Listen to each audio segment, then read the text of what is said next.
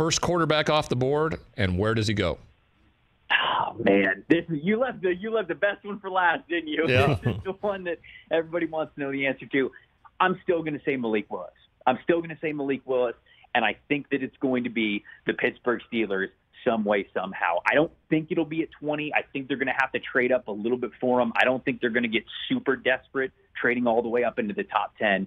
But I think that somewhere in the teens, middle of the first round, Steelers are going to pop up and go get him because the only th- the only spot that I really think could go ahead of Malik Willis is if Kenny Pickett goes to the Carolina Panthers at number six, and I just don't think that's going to happen. It's on the table, but I wouldn't be betting for it. So instead, I would still bet Malik Willis, QB one off the board to the Pittsburgh Steelers. And uh, just for everybody's information, because you saw his mock come up here on the on the television screen as well, you have Atlanta jumping back into the first round to get that quarterback in Kenny Pickett.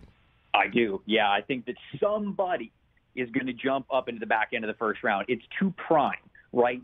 The uh, Kansas City Chiefs have two picks at 29 and 30. You figure they're probably going to move on from one of those if they get a really great deal that gets them some draft capital next year. Cincinnati Bengals at 31. I know they don't trade too much, but they might get a trade offer they can't refuse there to move back a little bit with the team jumping up. And then Detroit Lions, I think, have their phones on as well. So I think we're getting a quarterback somewhere within those last five picks of the first round, whether it's quarterback two or quarterback three. I think we're getting a quarterback right there. Awesome, man. You're locked in. Hey, you watched all the way to the end. Thanks for that. Watch more right here.